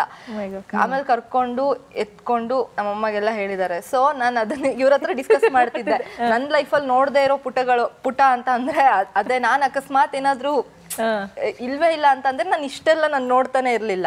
ಅಂದ್ರೆ ನಾನು ಇರ್ತಾನೆ ಇರ್ಲಿಲ್ಲ ಇವಾಗ. ಸೊ ಅದ್ ಡಿಸ್ಕಸ್ ಮಾಡ್ ಡಿಸ್ಕಸ್ ಮಾಡ್ಬೇಕಾದ್ರೆ ಇವ್ರ ಒಂದ್ ಸ್ಟೋರಿ ಹೇಳಿದ್ರು. ಓಕೆ ಸೇಮ್ ಥಿಂಗ್ ಕನೆಕ್ಟ್ ಆಗ್ತಿದೆ ಅಲ್ಲ ಹಂಗ ನಾನು ಫಸ್ಟ್ ಆಕ್ಚುಲಿ ಕಾಪಿರೇಟ್ ಏನಾದ್ರು ಬರುತ್ತೆ ಅಂತ ಹೇಳಿ. ನಾನು ಅದಕ್ಕೆ ಓಕೆ ಇವ್ರು ಹೇಳಲಿ ಅಂತ ಬಿಟ್ಬಿಟ್ಟೆ. ನಂದು ಅಷ್ಟೇ. ನಾನು ಏನಂದ್ರೆ ಅರೌಂಡ್ ಒಂದ್ ಏನು ಇನ್ನೂ ಎಲ್ ಕೆ ಜಿನ ಯು ಕೆ ಜಿನ ಸೊ ಆ ಒಂದು ಸಂದರ್ಭದಲ್ಲಿ ನಾನು ನಮ್ಮ ಅಕ್ಕ ಮತ್ತೆ ನಮ್ಮ ದೊಡ್ಡಪ್ಪನ ಮಗಳು ಅವ್ರ ಅಕ್ಕ. ಸೊ ಮೂರ್ ಜನ ಏನು ಅಂದ್ರೆ ಒಂದ್ ಟ್ಯಾಂಕ್ ಇದೆ ದೊಡ್ಡದು. ಮನೆ ಒಂದ್ ಮೂರ್ನಾಲ್ಕು ಒಂದ್ ಐದಾರು ಮನೆ ಹೋಗುವಂತ ನೀರು ದೊಡ್ಡ ಟ್ಯಾಂಕ್ ಸೊ ನಾವೇನ್ ಮಾಡಿದ್ವಿ ಅಂದ್ರೆ ಆ ಕಡೆ ಸೈಡ್ ಅಲ್ಲಿ ನಮ್ಮ ಅಕ್ಕ ಮತ್ತೆ ಇನ್ನೊಬ್ರು ಅಕ್ಕ ಇದಾರೆ. ನಾನು ಈ ಕಡೆ ಇದ್ದೀನಿ. ಸೊ ಎಲೆನ ಪಾಸ್ ಮಾಡ್ತಾ ಇದ್ವಿ. ಆಚೆಯಿಂದ ಈಚೆಯಿಂದ ಈಚೆ ನಾನು ಪಾಸ್ ಮಾಡ್ತಾ ಮಾಡ್ತಾ ಸ್ವಲ್ಪ ಎಕ್ಸೈಟ್ಮೆಂಟ್ ಅಲ್ಲಿ ಬಿದ್ರಿ. ಸೊ ಒಂದ್ ಮೂರ್ ನಾಲ್ಕು ಸತಿ ಅಂದ್ರೆ ಎರಡ್ ಎರಡ್ ಏನೋ ಮುಳುಗ್ಬಿಟ್ಟಿದ್ರಿ. ಅವ್ರು ಕಿರ್ಚ್ಕೊಂತಾ ಇದ್ರು. ಅವ್ರಿಗೆ ಏನ್ ಮಾಡಕ್ಕೂ ಗೊತ್ತಾಗ್ತಿಲ್ಲ. ಸೊ ಆ ಒಂದು ಮೂಮೆಂಟ್ ಅಲ್ಲಿ ಇನ್ನೊಬ್ರು ಯಾರೋ ಅಲ್ಲಿ ದೇವಸ್ಥಾನದಲ್ಲಿ ಒಬ್ರು ಕೆಲಸ ಮಾಡೋ ಗಣಪತಿ ಅಂತ ಅವ್ರೊಬ್ರು ಬಂದು ಆ ಒಂದು ಟೈಮ್ ಬಂದಿರ್ಲಿಲ್ಲ ಅಂದ್ರೆ ಮೇ ಬಿ ನಾನು ಈ ಜಾಗದಲ್ಲಿ ಇವತ್ತಿರ್ತಿರ್ಲಿಲ್ಲ ಇರ್ತಿರ್ಲಿಲ್ಲ. ನೀವು ಸಾಕಷ್ಟು ಕತೆಗಳನ್ನ ಬರ್ದಿರೋದ್ರಿಂದ ಅಥವಾ ಸಾಕಷ್ಟು ಓದಿರ್ತೀರಿ ಸುತ್ತಮುತ್ತ ನೋಡಿರ್ತೀರಿ. ಸೊ ಇಂಥ ಕತೆ ನಿಮ್ಗೂ ಕೂಡ ರಿಲೇಟೆಡ್ ಆಗುವಂಥದ್ದು ಏನಾದ್ರೂ ಇದೆಯಾ ಅಂತ? ಇಷ್ಟು ಆಳವಾಗಿ ಬಾವಿಯಲ್ಲಿ ಅದ್ ಬಿಟ್ರೆ ವಾಲಿದ ಜಂಪ್ ಆಗಿರೋದು ಬಿದ್ದಿರೋದು ಆ ತರ ಚಿಕ್ಕ ಚಿಕ್ಕದ ಹೈಟ್. ನಮ್ ನಮ್ ತೆಗ್ದ ತೆಗ್ದಕ್ ಬಿದ್ದಿದ್ದೀವಿ ಲೈಟಿನ ನೀವು ಬಿಟ್ಟಿಲ್ಲ. ಸೊ ಹಾಗಾಗಿ ಅದನ್ನ ಮ್ಯಾನೇಜ್ ಹೇಗ್ ಮಾಡಿದ್ರಿ ಅಂತ? ಈಗ ನಿಮ್ಗೆ ರಜಾ ಕೊಟ್ರ? ಯಾವ ರೀತಿ ಅಪ್ರೋಚ್ ಮಾಡಿದ್ರಿ ನೀವು ನಿಮ್ಮ ಕಂಪನಿಯಲ್ಲಿ ಒಂದೇನಂದ್ರೆ ಅದೇ ಮೇಡಮ್ ಅದು ನಾವ್ ಏನಾದ್ರು ಒಂದು ಆಸೆ ಪಟ್ಟಾಗ ಸ್ವಲ್ಪ ಡಿಲೇ ಆಗ್ಬೋದು. ಬಟ್ ಯೂನಿವರ್ಸ್ ಎಲ್ಲೋ ಒಂದ್ ಕಡೆ ಯಾವುದೋ ಒಂದು ರೀತಿಯಲ್ಲಿ ಒಂದು ಬ್ಲೆಸ್ ಮಾಡುತ್ತೆ ಅಂತೀವಲ್ವಾ? ಆ ಥರ. ಸೊ ನಾನೇನ್ ಮಾಡಿದೆ ಎರಡು ಶಾರ್ಟ್ ಫಿಲಮ್ ಮಾಡಿದೆ. ಮೂರನೇದು ಶಾರ್ಟ್ ಫಿಲಮ್ ಮಾಡಬೇಕು ಅಂತ ಹೋದಾಗ ನನ್ನ ಫ್ರೆಂಡ್ ತಲೆ ಕೆಡಿಸ್ಬಿಟ್ಟ. ಹೇಗಿರೋ ಫಿಲಮ್ ಎರಡು ಶಾರ್ಟ್ ಫಿಲಮ್ ಮಾಡಿದ್ಯಾ ನಿನ್ ಮೂವಿಗೆ ಮೇಕಿಂಗ್ ಬರುತ್ತೆ. ಒಳ್ಳೆ ಸ್ಕ್ರಿಪ್ಟ್ ಚೂಸ್ ಮಾಡು ನಾನು ಬೇಕಾದ್ರೆ ಸಪೋರ್ಟ್ ಮಾಡ್ತೀನಿ ಅಂತ ಹೇಳ್ದ. ಬಟ್ ಅವ್ನು ಹೇಳ್ತಿರೋದು ಚಿಕ್ಕದಾಗಿ ಸಪೋರ್ಟ್ ಮಾಡ್ತೀನಿ ಅಂತ. ಫಿಲಮ್ ಚಿಕ್ಕದಾಗಿ ಮುಗಿಯ ಮುಗಿಯಲ್ಲ. ಅದಕ್ಕೆ ಏನು ಮಾಡಿದೆ ಅವತ್ತು ನೈಟ್ ಫುಲ್ ನಿದ್ದೆನೇ ಬಂದಿಲ್ಲ. ಸುಮ್ಮನೆ ಸುಮ್ಮನೆ ಕೂತಿದ್ದು ಅವ್ನು ಕೆರೆದ್ಬಿಟ್ಟು ಹೋಗ್ಬಿಟ್ನಲ್ಲ. ಆ ಥರ ಒಂದು ಇದರಲ್ಲಿ ಸೊ ನನ್ನ ಫ್ರೆಂಡ್ಸ್ ಅಷ್ಟು ಜನಕ್ಕೆ ಮೆಸೇಜ್ ಮಾಡಿದೆ ನಾನು. ಒಂದು ನೈಟ್ ಅದು colleagues ex colleagues school friends college friends ಅಷ್ಟು ಜನಕ್ಕೆ ಒಂದು ಮೂವತ್ತು ಜನಕ್ಕೆ ಮೆಸೇಜ್ ಮಾಡಿದ್ದೀನಿ. ಏನಂತ ಈ ಥರ ನಾನು ಎರಡು ಶಾರ್ಟ್ ಫಿಲಮ್ ಮಾಡಿದ್ದೀನಿ ನೋಡಿದ್ದೀರಾ? ಇವಾಗ ನಾನು ಒಂದು ದೊಡ್ಡ ಫಿಲಮ್ ಮಾಡಬೇಕು ಅಂತಿದ್ದೀನಿ. ನೀವೇನಾದ್ರು ಸಪೋರ್ಟ್ ಮಾಡ್ತೀರಾ? ನಾ ಮಾಡೋದಾಗಿ. ಆ ಮೂವತ್ತು ಜನದಲ್ಲಿ ಇಪ್ಪತ್ತೆರಡು ಜನ ಪಾಸಿಟಿವ್ ರಿಪ್ಲೈ ಮಾಡಿದ್ರು. ಓಕೆ ನೀನು ಸ್ಟಾರ್ಟ್ ಮಾಡು ನನ್ನ ಕೈಲಾಗಿದೆ ನಾನು ಮಾಡ್ತೀನಿ ಅಂತ. ಆ ಇಪ್ಪತ್ತೆರಡು ಜನ ಮೆಸೇಜ್ ಕಳಿಸಿದ್ದಕ್ಕೆ ಅವತ್ತು ನಾನು ಫೈನಲೈಸ್ ಮಾಡಿದೆ ಓಕೆ ಫಿಲಮೇ ಮಾಡೋಣ ಶೋ ಫುಲ್ ಯಾವುದು ರಜೆ ಆಗ್ದೇನೆ ಡಿಸೆಂಬರ್ ರಜೆ ಹಾಕ್ಬಿಟ್ಟು ನಾನು ಫಿಲಮ್ ಮಾಡ್ತೀನಿ ಅಂತ. ಓಕೆ ಸೊ ಅದೇ ಥರ ನಾನು ಯಾವತ್ತೂ ರಜಾ ಆಗ್ದೇನೆ ಡಿಸೆಂಬರ್ ರಜಾ ಹಾಕಿ almost seventy five percent talkie portion shoot ಮಾಡಿದೆ ನಾನು. ಮಕ್ಕಳನ್ನ ಕೂಡ ಇದರಲ್ಲಿ ಯೂಸ್ ಮಾಡ್ಕೊಂಡಿದ್ದೀರಿ. ಸೊ ಅದು ಚಾಲೆಂಜಿಂಗ್ ಆಗಿತ್ತಾ? ಯಾಕಂದ್ರೆ ಮಕ್ಕಳು ಸುಮ್ಮನೆ ಅಂತೂ ಇರೋದಿಲ್ಲ. ಮಕ್ಕಳು ಮಾಡೋದು ಯಾವತ್ತು ಅದು ಏನೇ ಮಾಡಿದ್ರು ಒಂಥರ ಕ್ಯೂಟ್ ಆಗಿರುತ್ತಲ್ವ? ಸೊ ಅದಕ್ಕೋಸ್ಕರ ನಾವು ಟೀಮ್ ಸ್ವಲ್ಪ ಅಡ್ಜಸ್ಟ್ ಆಗಿದೆ ಇನ್ಫ್ಯಾಕ್ಟ್ ನಮ್ಮ ಮೇಜರ್ ಚಾಲೆಂಜ್ ಇದ್ದಿದ್ದು ಏನಂದ್ರೆ ಚಿಕ್ಕ ಮಗುನ ಮಲ್ಕೊಂಡಿರೋ ಥರ ತೋರಿಸ್ಬೇಕಾಯ್ತು ಮಗು ಮಲಗ್ತಾ ಇರಲಿಲ್ಲ. ಓಕೆ ಶೂಟಿಂಗ್ ಎಲ್ಲ ಸ್ಟಾರ್ಟ್ ಆಗಿಬಿಟ್ಟಿದೆ. ಚಿಕ್ಕ ಮಗು ಮಲಗಿಸ್ಬೇಕಾಗಿತ್ತು. ಅವ್ರ ಅಮ್ಮನ ಹತ್ರ ಕೇಳಿದೆ ಮೇಡಮ್ ಮಗು ಯಾವಾಗ ಮಲಗುತ್ತೆ? ಅಂತ. ಗೊತ್ತಿಲ್ಲ ಸರ್ ಟ್ರೈ ಮಾಡ್ತೀನಿ ಅಂತ. ಸೊ ನಾವೆಲ್ಲಿ ಇದ್ರೆ ಡಿಸ್ಟರ್ಬೆನ್ಸ್ ಆಗುತ್ತೆ ಅಂತೇಳಿ ಎಲ್ಲ ಒಂದು ಆಲ್ಮೋಸ್ಟ್ ಒಂದು ಒಂದು ನೂರು ಸ್ಟೆಪ್ಸ್ ಹಿಂದೆ ಇದ್ದೀವಿ ಓಕೆ ಸೊ ಅವರು ಮಲಗಿಸ್ತಾ ಇದ್ದಾರೆ ಓಕೆ ಆಮೇಲೆ ಟಕ್ ಅಂತ ಹೇಳಿದ್ರು ಸರ್ ಬನ್ನಿ ಮಗು ಮಲ್ಕೊಂಡ್ಬಿಟ್ಟಿದೆ ಅಂತ. ನಾವು ಟಪ ಟಪ ಟಪ ಅಂತ ಎಲ್ಲ ಹೋಗಿ ಎಲ್ಲ ಅರೇಂಜ್ ಮಾಡಿದ್ವಿ. ತರಲೆ ಅವರು ಯಾರು ಆ ಡಿಪಾರ್ಟ್ಮೆಂಟ್ ಸೈಡ್ ಏನೋ ಬಿಡಿಸು ಢಮ್ ಅಂತ ಮಗು ಎದ್ದು ಬಿಡ್ತಾರೆ ಅಯ್ಯೋ ಏನ್ ಗುರು ಅಂತ ಹೇಳ್ಬಿಟ್ಟು ತಿರ್ಗಾ ತಿರ್ಗಾ ಒನ್ ಅವರ್ ಡಿಲೇ ತಿರ್ಗಾ ಮಗು ಮಗು ಮಲಗಿದ ತಕ್ಷಣ ಎಲ್ಲಾರು ವಾರ್ನಿಂಗ್ ಏನು ಸೌಂಡ್ ಬರ್ಕೊಡ್ದು ಅಚಕ್ ಪುಚಕ್ ಅನ್ಕೊಡ್ದು ಅಂತ. ಆಮೇಲೆ ಶೂಟ್ ಮಾಡಿ ಇದು ಮಾಡಿದಾಯ್ತು. ಸೊ ಅದೊಂದೇ ನಮ್ ಚಾಲೆಂಜಿಂಗ್ ಇತ್ತು. ಸಿನಿಮಾವನ್ನ ಪ್ರೇಕ್ಷಕರು ಯಾಕೆ ನೋಡ್ಬೇಕು ಅಂತ ಹೇಳ್ತೀರಿ? ಇದು ಕಂಪ್ಲೀಟ್ ಫ್ಯಾಮಿಲಿ ಪ್ಯಾಕೇಜ್ ಅಂತ ಹೇಳಕ್ಕೆ ಇಷ್ಟಪಡ್ತೀನಿ. ಆ್ಯಂಡ್ ಇದ್ರಲ್ಲಿ ಏನು ಅಂದರೆ ನಿಮಗೆ ಕಾಮಿಡಿ ಇದೆ ಒಂದು ಲವ್ ಇದೆ ಆ್ಯಂಡ್ ಒಂದು ಸಸ್ಪೆನ್ಸ್ ಇದೆ ಆ್ಯಂಡ್ ಒಂದು ಒಳ್ಳೆ ಸೋಷಿಯಲ್ ಮೆಸೇಜ್ ಇದೆ. ಸರ್ ಎಲ್ಲದರಲ್ಲೂ ಹೇಳ್ಕೊಂಡು ಬಂದಿದ್ದಾರೆ. ಇದು ಏನಂದ್ರೆ ಒಂದು ಇಯರ್ಲಿ ಒಂದ್ಸತಿ ಆ ಒಂದು ನ್ಯೂಸು ನಿಮಗೆ ಬಂದೇ ಬರುತ್ತೆ. ಸೊ ಅದ್ರೂ ಕೂಡ ಇದೊಂದು ಒಳ್ಳೆ ಒಂದು ಸೋಷಿಯಲ್ ಮೆಸೇಜ್ ಇದೆ. ಅಂಡ್ ಪ್ಲಸ್ ಏನು ಅಂದ್ರೆ ನೀವು ಫ್ರೆಂಡ್ಸ್ ಜೊತೆ ಅಥವಾ ಒಂದು ಫ್ಯಾಮಿಲಿ ಜೊತೆ ಹೋದಾಗ ಕೂತ್ ನೋಡಿದಾಗ ಎಲ್ಲೋ ಅನ್ಸುತ್ತೆ ನಿಮ್ ಲೈಫ್ ಅಲ್ಲೂ ಎಲ್ಲೋ ಈ ತರ ಒಂದು ಘಟನೆ ಬಂದಿದೆ. ಹಂಡ್ರೆಡ್ ಪರ್ಸೆಂಟ್ ಅಂತೂ ಕನೆಕ್ಟ್ ಅಂತೂ ಆಗೇ ಆಗುತ್ತೆ. ಅದೊಂದು ಪಾತ್ರ ನಾನು ಅಲ್ಲಿ ಮಾಡಬೇಕು ಅಂತ ಇರುತ್ತೆ. ಸೊ ಅಂತ ಪಾತ್ರ ಯಾವುದು? ಯಾವ ಪಾತ್ರಕ್ಕಾಗಿ ವೇಟ್ ಮಾಡ್ತಾ ಇದ್ದೀರಾ? ನೆಕ್ಸ್ಟ್ ನೆಗೆಟಿವ್ ರೋಲ್ ನೋಡಿ ಮೊಸರನ್ನ ತಿನ್ಕೊಂಡು ಇಡ್ಲಿಗೆ ಓರಿಯೋ ತಿನ್ಕೊಂಡು ವಿಲ್ಲನ್ ಅಂತ ಹೇಳಿದ್ರೆ. ಪಾರ್ಟ್ ಮಾಡೋಣ ಅಂತ. ಇವತ್ತಿಂದ ಸ್ಟಾರ್ಟ್ ಮಾಡ್ತೀನಿ ಹಾಗಾದ್ರೆ ಖಾರ ತಿನ್ನಕ್ಕೆ. ಓಕೆ ಕಾವ್ಯ ಅವರೇ ನೀವು ಕೂಡ ತುಂಬಾ ಎಕ್ಸೈಟ್ ಆಗಿದ್ದೀರಿ. ನಿಮ್ಮ ಕಥೆಯನ್ನ ಸ್ಕ್ರೀನ್ ಮೇಲೆ ನೋಡೋದಕ್ಕೆ ಏನು ಅಂತ ಗೊತ್ತಿಲ್ಲ ಕ್ಲೈಮ್ಯಾಕ್ಸ್ ಕೂಡ ನಿಮ್ಗೆ ಗೊತ್ತಿಲ್ಲ. ಹಾಗಾಗಿ ಏನ್ ಹೇಳಕ್ ಇಷ್ಟಪಡ್ತೀನಿ ನಮ್ಮ ಪ್ರೇಕ್ಷಕರಿಗೆ? ಇವಾಗ ನೀವು ಮೂವಿ ಬಂದು ನೋಡಿದ್ರೆ ನಿಜವಾಗ್ಲೂ ನೀವು ಕೊಟ್ಟಿರೋ ದುಡ್ಡಿಗಂತೂ ಮೋಸ ಇಲ್ಲ. ಹಂಡ್ರೆಡ್ ಪರ್ಸೆಂಟ್ ನೀವು ಏನು ಅಮೌಂಟ್ ಕೊಟ್ಟು ಬರ್ತೀರೋ ಅದಕ್ಕೊಂದು ವ್ಯಾಲ್ಯೂ ಸಿಕ್ಕೇ ಸಿಗುತ್ತೆ. ಎಲ್ಲರೂ ಅಷ್ಟೇ ನಿಜವಾಗ್ಲೂ ಎಂಜಾಯ್ ಮಾಡೇ ಮಾಡ್ತೀರ. ಅದಾದಮೇಲೆ ಕೆಲವರೆಲ್ಲ ಚಿಕ್ಕ ಮಕ್ಕಳನ್ನ ಕರ್ಕೊಂಬರ್ಬಾರ್ದು ಅಯ್ಯೋ ತರಲೆ ಮಾಡ್ತಾರೆ. ಥಿಯೇಟ್ರಲ್ಲಿ ಕುತ್ಕೊಂಡು ಮೂವಿ ನೋಡೋಕ್ಕೆ ಬಿಡಲ್ಲ ಅಂತ ತುಂಬ ಜನ ಮೂವಿ ಥಿಯೇಟ್ರಿಗೆ ಬಂದು ನೋಡಲ್ಲ. ಟಿವಿಲಿ ಬಂದಾಗ ನೋಡೋಣ ಓ ಟಿ ಟಿಲಿ ಬಂದಾಗ ನೋಡೋಣ ಅಂತ ಅನ್ಕೊಂಡಿರ್ತಾರೆ. ಹಾಗೇನೂ ಇಲ್ಲ ನಿಜವಾಗ್ಲೂ ನಿಮ್ಮ ಮಕ್ಕಳನ್ನು ಕರ್ಕೊಂಬನ್ನಿ ನಿಮ್ಮ ಚಿಕ್ಕ ಚಿಕ್ಕ ಮಕ್ಕಳು ದೊಡ್ಡವರು ಯಾರ್ಯಾರು ಇದ್ದಾರೋ ಎಲ್ಲರೂ ಬನ್ನಿ. ಆರಾಮಾಗಿ ಮೂವಿನ ಸೈಲೆಂಟಾಗಿ ಕುತ್ಕೊಂಡು ಕ್ಲೈಮ್ಯಾಕ್ಸ್ ತನಕ ನೋಡ್ತೀರಾ ಅಂತ ಹೇಳ್ಬೋದು. ಯಾಕಂದರೆ ಒಂದು ಚೈಲ್ಡ್ಹುಡ್ ಇಂದ ಹಿಡಿದು, ಒಂದು ಮಿಡಲ್ ಏಜ್ ಇಂದ ಹಿಡಿದು, ಒಂದು ದೊಡ್ಡೋರ್ವರ್ಗು ಕಂಟೆಂಟ್ ಇದೆ. ಸೊ ಎಲ್ಲರೂ ಎಂಜಾಯ್ ಮಾಡ್ಬೋದು. ಎಲ್ಲರೂ ಥಿಯೇಟರ್ಗೆ ಬನ್ನಿ, ಇಪ್ಪತ್ತೊಂದನೇ ತಾರೀಕು ರಿಲೀಸ್ ಆಗ್ತಿದೆ. ಹಂಡ್ರೆಡ್ ಪರ್ಸೆಂಟ್ ನಿಮಗೆ ಎಂಟರ್ಟೈನ್ಮೆಂಟ್ ಸಿಗುತ್ತೆ ಅಂತ ಹೇಳಕ್ಕೆ ಇಷ್ಟ. Okay thank you so much captain ನೀವು, ಸಾಕಷ್ಟು ನಿರೀಕ್ಷೆಗಳು ಇದ್ದೇ ಇರುತ್ತೆ. ಹೊಸ ಹೊಸ ಪ್ರಾಜೆಕ್ಟ್ ಕೂಡ ನೀವು ಮಾಡಬೇಕು. ಐ ಟಿ ಜೊತೆಗೆ. ಸೊ ಏನು ಹೇಳ್ತೀರಿ? ಕೇರ್ಫುಲ್ ಆಗಿ ಪ್ಲಾನ್ ಮಾಡೋದಂತ ಒಂದು ವಿಷಯ. ಓಕೆ ಏನಕ್ಕಂದ್ರೆ ನಾನು ಎಂಟು ವರ್ಷ ಹಿಂದೆ ಯಾರು ಮೀಟ್ ಮಾಡೋದು ಅಸಿಸ್ಟೆಂಟ್ಸ್ ಆಗಲಿ ಅಸೋಸಿಯೇಟ್ಸ್ ಆಗಲಿ ಇದ್ದವ್ರಿಗೆ ಯಾರು ಒಂದು ಫಿಲಮ್ ಮಾಡೋಕ್ಕಾಗಿಲ್ಲ. ಸೊ ರಿಯಾಲಿಟಿ ಅದೇನೆ. ಎಲ್ಲರೂ ಫಿಲಮ್ ಮಾಡೋಕ್ಕಾಗಲ್ಲ. ಏನಕ್ಕೆ ಕೆಲವೊಂದೆಲ್ಲ ಪ್ರೀ ಪ್ರೊಡಕ್ಷನ್ ನಿಂತೋಗುತ್ತೆ ಶೂಟಿಂಗಲ್ಲಿ ನಿಂತೋಗುತ್ತೆ ಕೆಲವೊಂದು ಪೋಸ್ಟ್ ಪ್ರೊಡಕ್ಷನ್ ನಿಂತೋಗುತ್ತೆ. ಕೆಲವು ದಿನ ಫಿಲಮ್ ಮಾಡಿ ಸುಮ್ಮನೆ ಇಟ್ಟಿರ್ತಾರೆ ರಿಲೀಸ್ ಮಾಡೋಕ್ಕಾಗಲ್ಲ. ಸೊ ಅದೆಲ್ಲ ದಾಟಿ ನಾನು ಇಷ್ಟು ದೂರ ಬಂದಿದ್ದೀನಿ. ನಾನು ಹೇಳೋದು ಒಂದಂದ್ರೆ ದಯವಿಟ್ಟು ಥಿಯೇಟರ್ ಒಂದ್ಸತಿ ನೋಡಿ. ನಿಮ್ಗೆ ಇಷ್ಟ ಇಲ್ಲ ಅಂದ್ರೆ ಉಗಿರಿ ಪರವಾಗಿಲ್ಲ. ಬಟ್ ಒಂದ್ಸತಿ ನೋಡಿ ನಿಮ್ಮ ಸ್ಟೇಟಸ್ ಅಲ್ಲಿ ಹಾಕೊಳ್ಳಿ ಶೇರ್ ಮಾಡ್ಕೊಳ್ಳಿ. ಇದು ಒಂದು ಮಿಡಲ್ ಕ್ಲಾಸ್ ಫ್ಯಾಮಿಲಿಯ ಒಂದು ಒಂದು ಕನಸು. ಹತ್ತು ವರ್ಷ ಕಷ್ಟಪಟ್ಟು ಅದಾದ್ಮೇಲೆ ಒಂದು ಒಂದು ಫಿಲಮ್ ಮಾಡಿರೋದು. ನಿಮ್ಗೆ ಇಷ್ಟ ಆಗಿಲ್ಲ ಅಂದ್ರೆ ನೀವು ಯಾರಿಗೇನೋ ಹೇಳಕ್ ಹೋಗ್ಬೇಡಿ. ಬಟ್ ಇಷ್ಟ ಆಯ್ತು ಅಂದ್ರೆ ಅಟ್ಲೀಸ್ಟ್ ಒಬ್ರಿಗಾರು ಫೋನ್ ಮಾಡಿ ಹೇಳಿ ಅಂತ ಕೇಳ್ಕೊಂತೀನಿ. ನಿಮ್ಮ ಕನಸು ಏನಿದೆ? ಅದು ಆ, ಸಾಕಾರಗೊಳ್ಳಿ ಸಾಕಷ್ಟು ಒಂದು ಕಷ್ಟಪಟ್ಟು ಇಷ್ಟಪಟ್ಟು ಸಿನಿಮಾವನ್ನ ಮಾಡಿದಿರಿ ಒಂದು ಉತ್ತಮವಾದಂತಹ ಕ್ಯಾಚಿ ಟೈಟಲ್ ಅನ್ನು ಕೂಡ ಸಿನಿಮಾಗೆ ಇಟ್ಟಿದ್ದೀರಿ. ನಿಮ್ಮ ಎಲ್ಲ ಪ್ರಾಜೆಕ್ಟ್ಗಳು ಮುಂದೆ ಏನೆಲ್ಲ ಅಂದ್ಕೊಂಡಿದ್ರಿ ಎಲ್ಲವೂ ಕೂಡ ಸಕ್ಸಸ್ ಆಗಲಿ ಮತ್ತೊಮ್ಮೆ ಸಕ್ಸಸ್ ಮೀಟಿಗೆ ಇಲ್ಲೇ ಮೀಟ್ ಆಗೋಣ. ಥ್ಯಾಂಕ್ ಯು ಸೋ ಮಚ್ ಹಾಗೆ wish you all the best thank you thank you so much yes ವೀಕ್ಷಕರೇ ನೋಡದ ಪುಟಗಳನ್ನ ನೋಡೋದಕ್ಕೆ ನೀವು ಕೂಡ ಮರಿಬೇಡಿ. ಥಿಯೇಟರ್ಗೆ ಹೋಗಿ ಈ ಸಿನಿಮಾವನ್ನು ನೋಡಿ ಮತ್ತಷ್ಟು ಪ್ರೋತ್ಸಾಹ ಕೊಡಿ ಅಂತ ಹೇಳ್ತಾ ಈ ವಿಶೇಷ ಕಾರ್ಯಕ್ರಮವನ್ನು ಮುಗಿಸ್ತಾ ಇದ್ದೀನಿ. ನೋಡ್ತಾ ಇರಿ ಪವರ್ ಟಿವಿ ಇದು ನಿಮ್ಮ ಶಕ್ತಿ.